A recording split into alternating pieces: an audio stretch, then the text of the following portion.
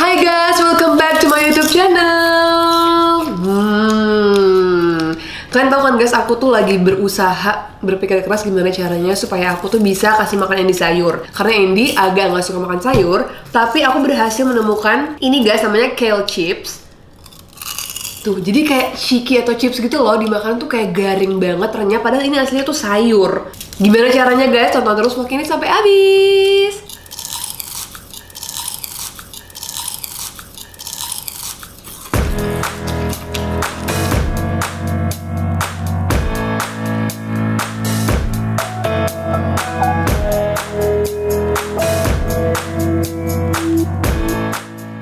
Jadi guys, sekarang aku mau pergi dulu ke toko deket rumah untuk beli sayurnya.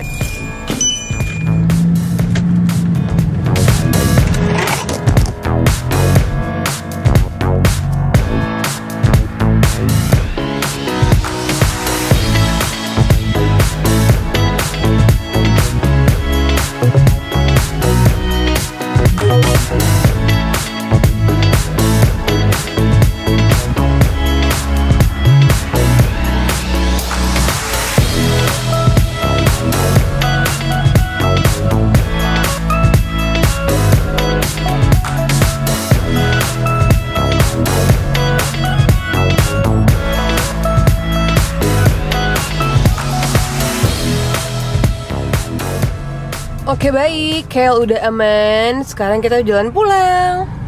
Oke, jadi aku udah di rumah guys. Nah ini dia tadi kale-nya. Kalau orang Indonesia ngomongnya kale kali ya bacanya kale, tapi mostly bacanya kale sih bener sebenarnya. Ini kale-nya segini tadi harganya 2,8 dolar, jadi sekitar 28 ribu. Sekarang aku mau nyuci dulu kale-nya. Harus dicuci ya guys.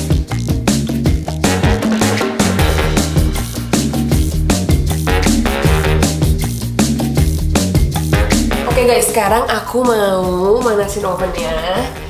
Ovennya kita nyalain. Terus kita taruh di suhu 120 derajat dan nyalain juga timernya. Nah, semestinya tadi ini nyalain ovennya di awal karena kita harus nunggu sekitar 10 sampai 20 menit guys untuk angetin ovennya.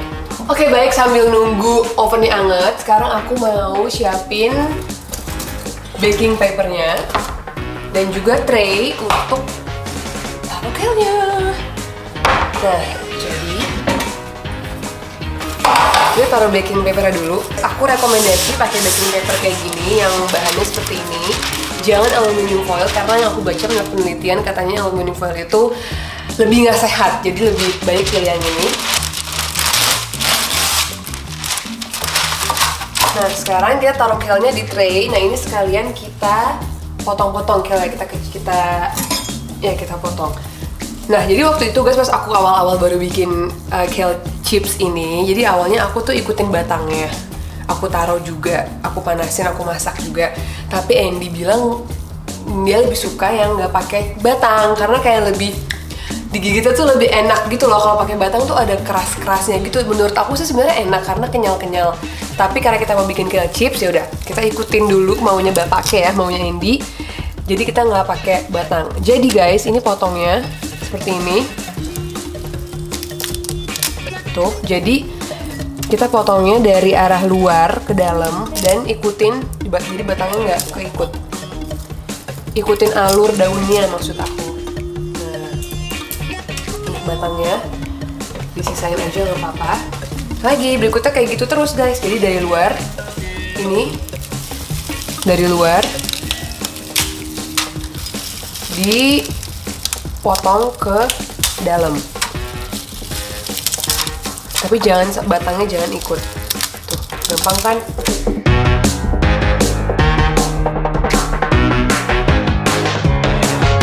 Tadi kalian udah dipotong guys kita sebarin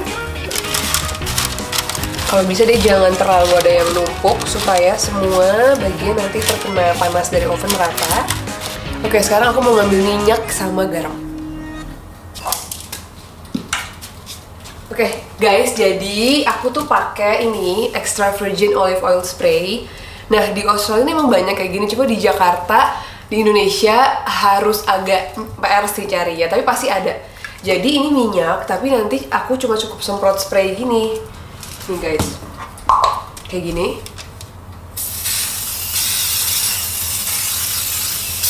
Gak usah banyak-banyak, tapi yang penting rata semuanya kena. Terus setelah minyak, udah minyak semuanya, kalian semua kena minyak, aku kasih garam. Nah, aku pakai Himalayan Pink Rock Salt. Tapi ini sebenarnya Pink Rock Saltnya udah habis, kita refill lagi sama garam biasa. Garam yang masih kayak gini, nanti aku taburin. Tapi kamu bisa pakai garam apa aja, nggak apa-apa. Yang penting kadarnya nggak terlalu banyak. Aku taburin ya.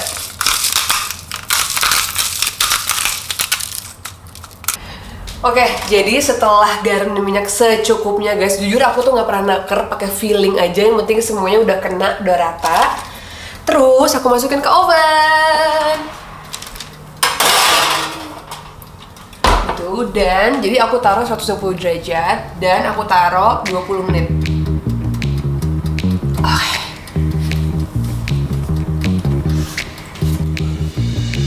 Oke guys, sambil nunggu kelnya masak, kelnya masak, kelnya matang, aku tuh pengen sekalian sharing sama kalian. Kenapa sih aku suka banget masak kel selain enak rasanya ini manfaatnya icu ternyata banyak banget. Aku baca kel itu punya zat namanya sulforafan. Jadi zat sulforafan ini bisa mencegah menghambat pertumbuhan kanker payudara bahkan bisa menurunkan sel kanker aktif sama buat penderita kanker payudara sampai 80% gokil ya. Terus juga kayak itu baik buat kesehatan jantung menjaga kesehatan mata dan kalsium yang terkandung di kil lebih baik daripada susu. Wow jadi cocok banget ya banyak banget manfaatnya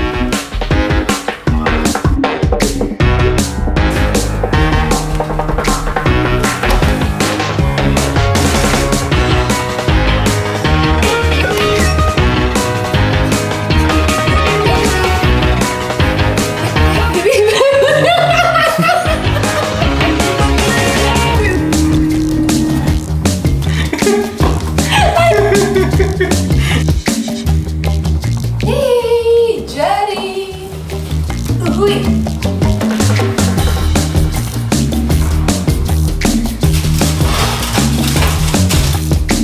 Uh, yummy yummy guys. Lihat nih, kecap kita udah jadi. Hmm. Dengar deh guys suaranya. Tuh. Uh, garing banget. Yummy. Cobain ya.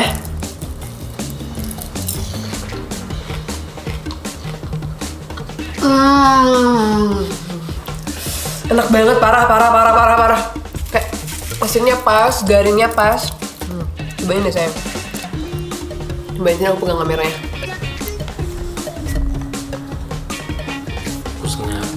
Enggak, ini ntar nggak fokus.